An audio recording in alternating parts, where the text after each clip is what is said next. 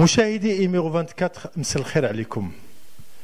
من بعد الفيديو الأولاني اللي درنا في إيميرو 24 وكنا كنقلبوا على العائلة ديال المرحوم أمين الخطابي ومن بعد ما الفيديو ديالنا وصل المشاهده ديالو لأكثر من جوج المليون مشاهدة اليوم والحمد لله توصلنا للعائلة ديال أمين الخطابي.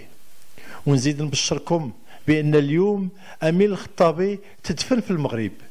فعلا تدفن في المغرب وتدفن في وسط أهله وحبابه كازابلانكا. كنا مضطرين باش نديروا الصورة ديال امين الخطابي ما كانش عندنا الحل. ما كان عندنا حتى شي حل إلا ونديروا الصورة ديالو. ما كانش عندنا الصورة قبل الوفاة ديالو. كنطلبوا الاعتذار لجميع المغاربة اللي تأثروا بهذه الصورة. جميعا كما كانوا كنقول لهم سمحوا لنا ولكن كنا مضطرين. وهذه الصورة هي اللي جابت لنا العائلة ديال امين الخطابي وهي اللي حطتنا باش ندفنوه في المغرب. أنا اسمي فاطمة الزهرة.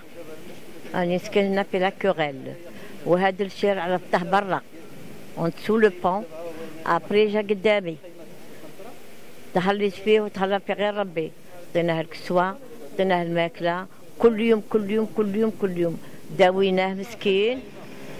حتى اللي لقيناه باش داويناه بالدواء خاطر كان راسه كان مدرور عطينا ديزاسبيرين دينا عند الطبيب طاه لي باري مسكين ولا غاية.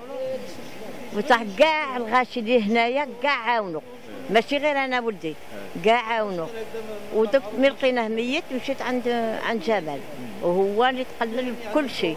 بصح كاع الدنيا مدت له دراهم. الحمد لله. الحمد لله الحمد لله ولدي. ولا عندهم والديه ولا ينوضوا ما يعرفونه عمره ما قال لك منين هو لا قال؟ لي أنا مكازا.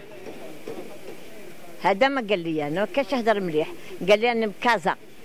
وقلت إلا راك دير عالجة. لا قال هذه عام اللي راه عام وشي حاجة ملي راه هنا قال لي. هذا ما كان. ما كانش يهضر بزاف ولدي. ما كان كانش كان. ما ما كانش يهضر والو. باش دخلت تا- وكان يهضر غير معايا أنا مسكين. والحمد لله راه لقى آه، كاع مدو كاع آه، كل شيء كل شيء كل شيء درنا له صداقه دابا كيما الناس.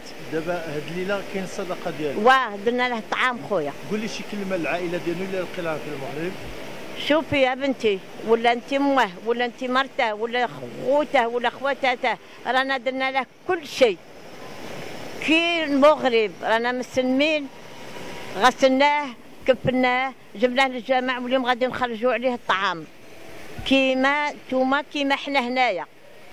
ثمان أيام وحنا كنتسناو. السيد كان عندنا في الفريقو وغسلناه كفناه. وتجمعت الجماعة كلهم الحي كامل ديال هذا الم- المكان. والإخوان يساعدونا عاود من كل جهة.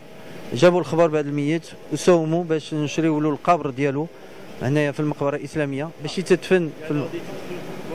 باش يتدفن إن شاء الله في المقبرة الإسلامية هنايا في برجيكا في بروكسل على منشره ديال القبر ديالو على مدة 50 سنة.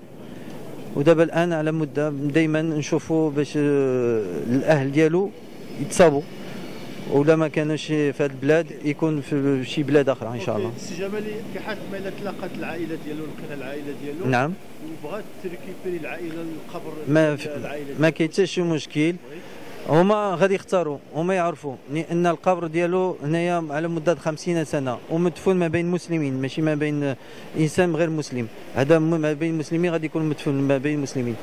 ودا كانوا الأهل ديالو الرغبة ديالو الجثه ترجع لهم إلى سيل الوطن ديالهم ما في مشكلة. في ديك الساعة نشوفوا نحاولوا نطلبوا طلب ن- الادارات الرخصة ديال الادارات على حسب البلدية فين غادي يكون مدفون باش نحفروا عليه نخرجوا الجثة ونشوفوا المصاريف ديالو عاود باش ننقلوه إلى البلاد.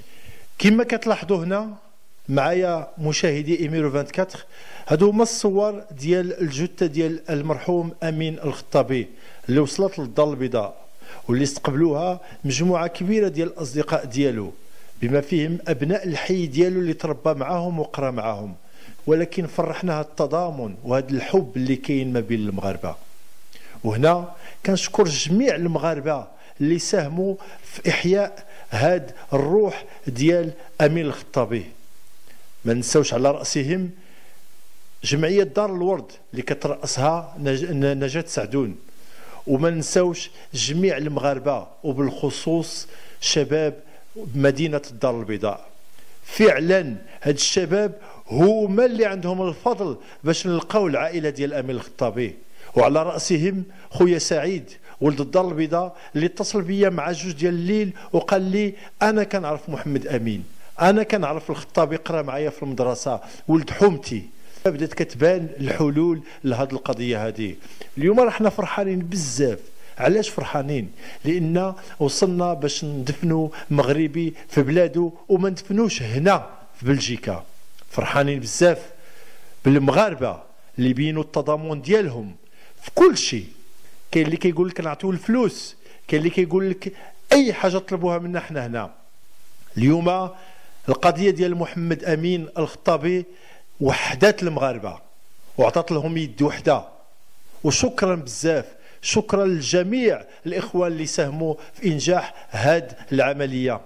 وشكرا بزاف الاخوان اللي داروا المستحيل باش نلقاو هاد العائلة.